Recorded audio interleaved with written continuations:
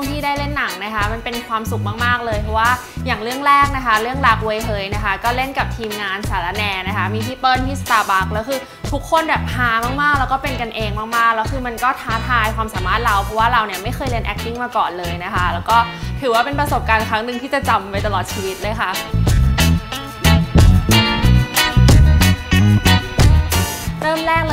นะคะอิงเป็น VJ ที่ Channel V Thailand ค่ะ ก็เข้ามาจากโครงการ VJ Search นะคะ ก็คือเป็นการประกวดเข้ามา ก็ตอนเป็น VJ ก็ทำให้รู้สึกว่า เอ้ย มันเป็นงานที่ท้าทาย แล้วเราได้พัฒนาความสามารถตัวเองอยู่เรื่อยๆนะคะ การที่เป็น VJ เป็นอะไรที่ใช่ที่เป็นตัวเราที่สุดแล้วค่ะปัจจุบันนะคะก็มีเปิดร้านขนมเป็นของตัวเองนะคะ เป็นร้านไอศครีมชื่อว่าร้าน Smooth Cafe นะคะ อยู่ที่หอ U Center ค่ะ ส่วนตอนนี้งานที่อิงได้ทำก็ได้เป็นพิธีกรทาง ด้านอื่นๆด้วยนะคะ คือตอนนี้ได้เป็นพิธีกรรายการท่องเที่ยว ก็คือจะบอกว่าชอบมากๆ อันนี้รู้สึกว่าเป็นตัวเองมาก ๆเหมือนกันนะคะ เพราะว่าเราได้ไปที่ต่างๆ เยอะแยะมากมาย แล้วก็ได้ทำอะไรที่ไม่คิดว่าชาตินี้แบบคนอย่างอิงจะได้ทำร้านขนมเพิ่งเปิดประมาณ 1 ปีกว่าๆเองค่ะ แต่ว่ากระแสตอบรับดีค่ะ คือจริงๆเปิดเพราะว่า เป็นคนอยากกินไอติมแบบนี้ทุกๆวันนะคะ มีความคิดว่าเฮ้ยอยากกินทุกวันทำยังไงดีอะไรเงี้ยแล้วคือพอดีหุ้นกับเพื่อนด้วยนะคะแล้วก็คือเพื่อนก็คือชอบทานไอติมแบบนี้เหมือนกัน แล้วก็จริงๆ ตอนเด็กๆอิงเป็นคนที่ชอบทำขนมมากคือไม่ไม่เคยไปเรียนนะคะ แต่ว่าเป็นคนทำขนมแบบมั่วๆซัวๆแบบชอบไปหาข้อมูลในอินเทอร์เน็ตอะไรเงี้ยค่ะ แล้วก็มาลองทำเอง แล้วก็รู้สึกว่าตัวเองทำบราวนี่กับคุกกี้ได้อร่อยมาก ก็เลยแบบอยากให้คนอื่นมีโอกาสได้ชิมอะไรเงี้ยค่ะ ก็เลยเป็นเมนูที่เอามาขายที่ร้านด้วยค่ะ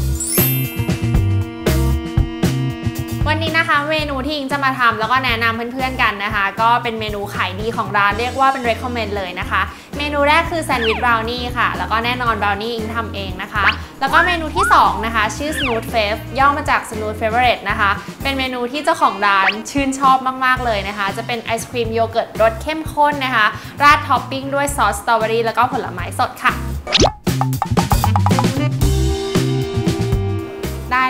เดี๋ยวอิงไปแต่งตัวก่อนนะคะ เดี๋ยวกลับมาค่ะ ตอนนี้นะคะอิงก็แต่งตัวเสร็จแล้วนะคะ ใส่ผ้ากันเปื้อนเรียบร้อยเลยนะคะ งั้นตอนนี้เดี๋ยวตามอิงมาทำขนมกันเลยดีกว่าค่ะ ตามมาค่ะ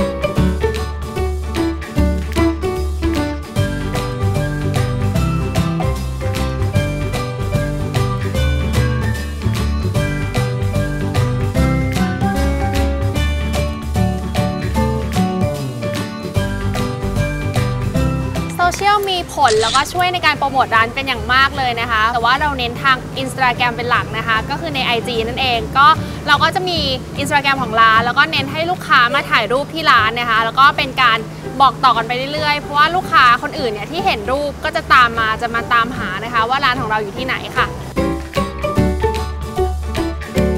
ถ้าอัพรูปแล้วไม่มีคนไลค์สักคนเลยอะค่ะก็จะเศร้ามากจะน้อยใจแล้วก็จะลบรูปนั้นค่ะ แล้วก็อัพใหม่ อัพใหม่